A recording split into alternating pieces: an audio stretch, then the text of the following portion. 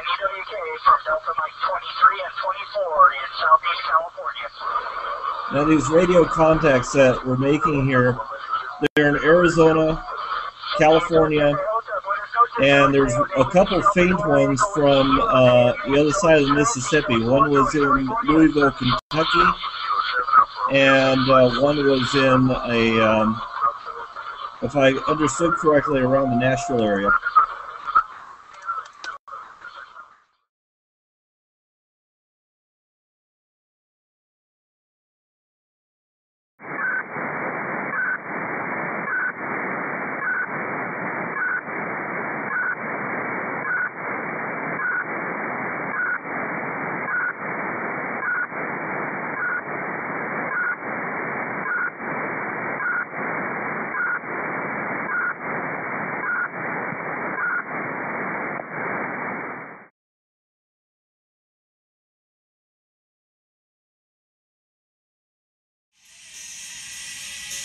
GQRX includes a built-in record feature.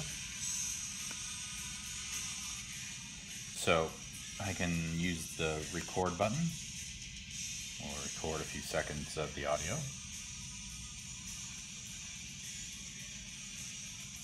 And now we will see that there is a uh, brand new wave, that file that was just created, and we can play that. And we can hear the song that we just recorded. So uh, we are able to, uh, this demonstrates that we're able to uh, connect to the SDR and uh, use it to acquire a signal and record that signal. So I will now.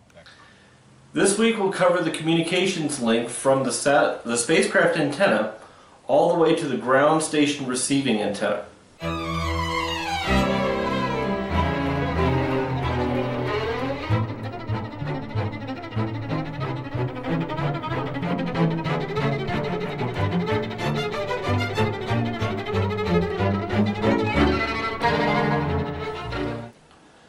Comes to 123.176. It's uh, doing lots of image processing work. And uh, there we go. Uh, that is uh, our sample image. And we can switch views uh, using the enhancements menu. Again, it just processes that image. There we go.